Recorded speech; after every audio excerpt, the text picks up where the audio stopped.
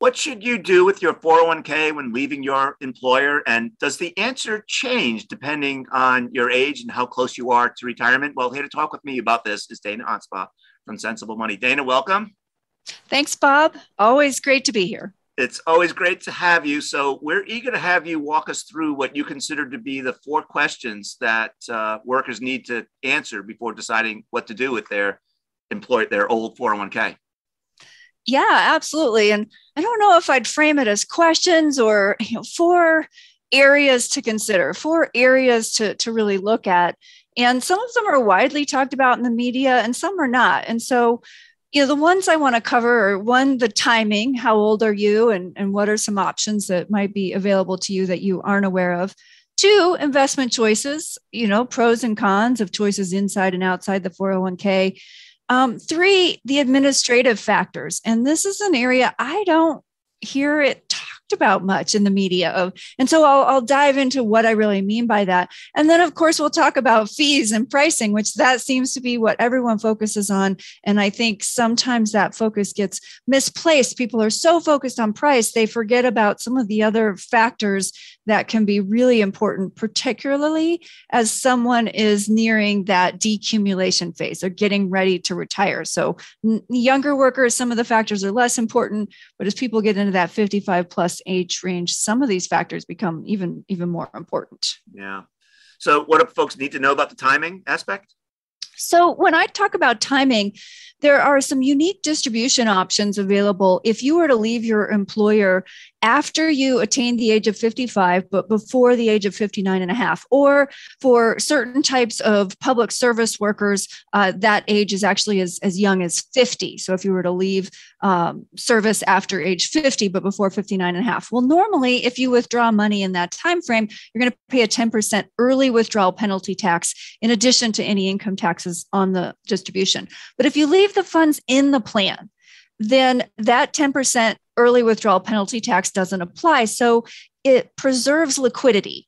And so for people who come into our planning process, they might have just left their employer at age 56. We might say, you know, you might want to leave all or a portion of your money in the plan so that you can preserve access if you need it and avoid that 10% penalty tax. Now, if someone has a ton of assets outside the plan, then maybe that's not a factor.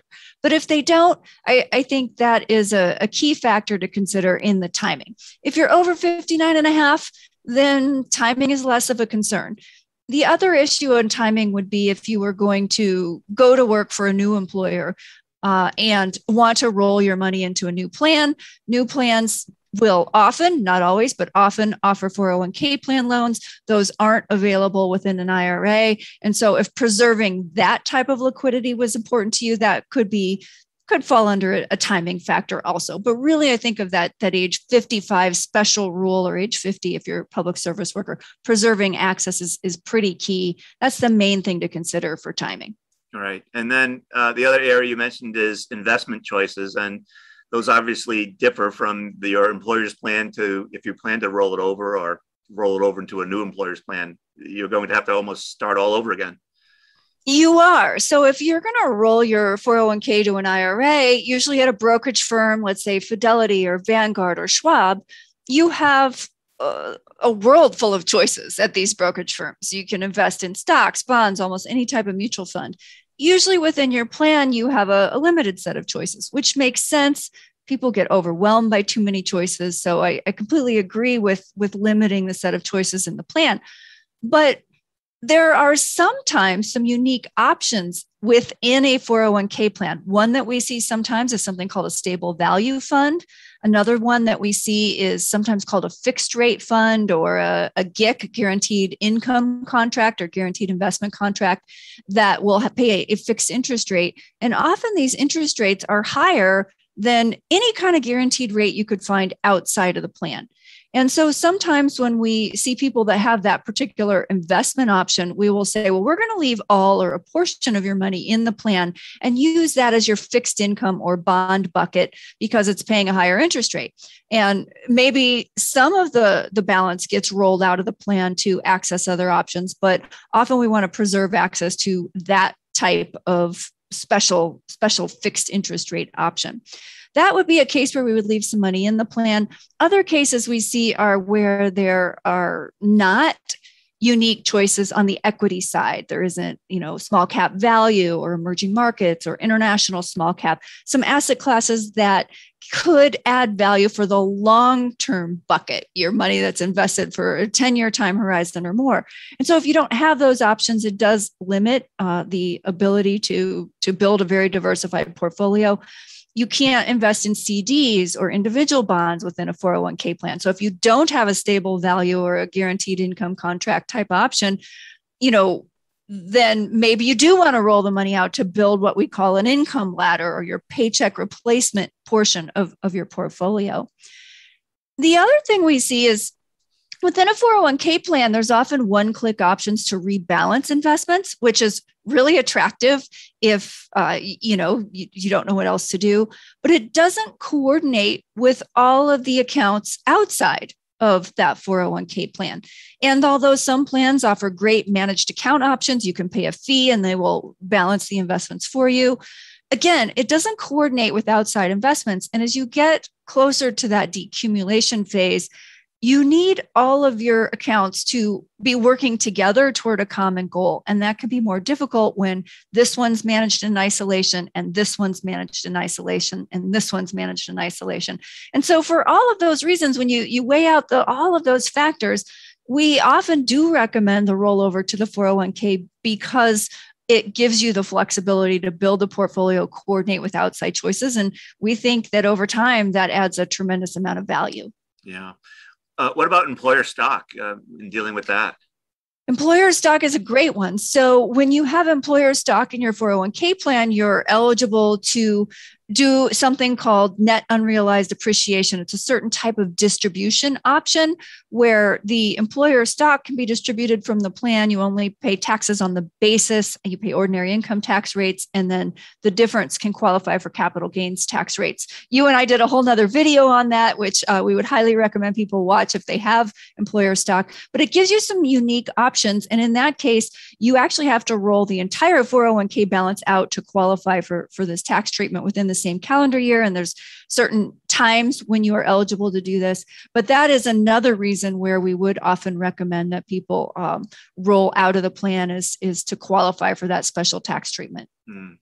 so the third area is um, one that you think the press and others don't pay much attention to which is administration yeah. And what I mean by administration is when you go to, well, there's a lot of things I mean, but when you go to withdraw money, there are you know certain ways you can do it. Some people will take a lump sum once a year and then budget for for the year but most retirees we find will resonate with what I call a paycheck replacement process.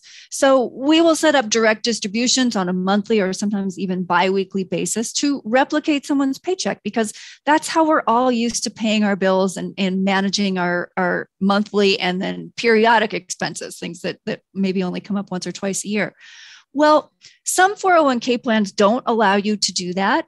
Some of them limit how often you can take distributions. Some of them will not set up direct deposits. Sometimes it has to do with it maybe a smaller plan administrator and they don't want to have someone's banking information on file. So there can be just cybersecurity reasons they don't want that information. And when you actually go to withdraw investments, every time you take a withdrawal, you're having to decide what to sell we are big fans of uh, something called a bucket strategy. So you you withdraw what you need in the near term out of the safe bucket or pimco calls it the paycheck replacement bucket. I love that term. And then you have your, your longer term bucket. Well most 401k plans you cannot do that. When you take a withdrawal it has to come in a pro rata fashion. Pro rata means you know proportionately across all of the investment choices that you have. So again it limits the way you can withdraw money. And i find those kinds of limitations when you look at 20 years worth of withdrawals or 30 years in retirement could have a big impact on how long the money lasts and, and what the outcome is 401k plans also can go through blackout periods. So your employer decides, you know, they don't want XYZ company to administer the plan or the investments. And so they're changing to, you know, ABC company. Well, most of us have experienced the blackout period. It might be 30 days, sometimes 60 days where you can't access your money. that can be problematic when you're in retirement. In addition, when that happens, you have to restructure your investments, you'd have to reset up your distributions. And then things change throughout life, throughout retirement, just as they do normal life. You need to change your beneficiaries, your address, your bank account.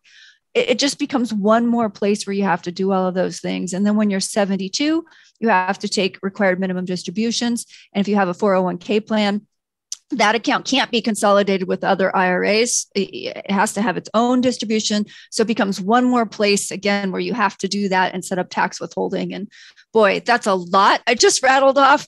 But this administration side is something we deal with every day because we are making sure all of this works for our clients. And so I see it firsthand.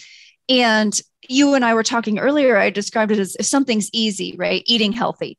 We will buy prepackaged health food because it, it makes it easy to eat healthy. Well, in retirement, if it's easy, it's a lot you know more manageable to set up a system that works to follow it to make sure everything's set up right but all of these administrative factors can make things more difficult when you're in retirement particularly as you get older and cognitive decline can set in and navigating all of the technology can become harder.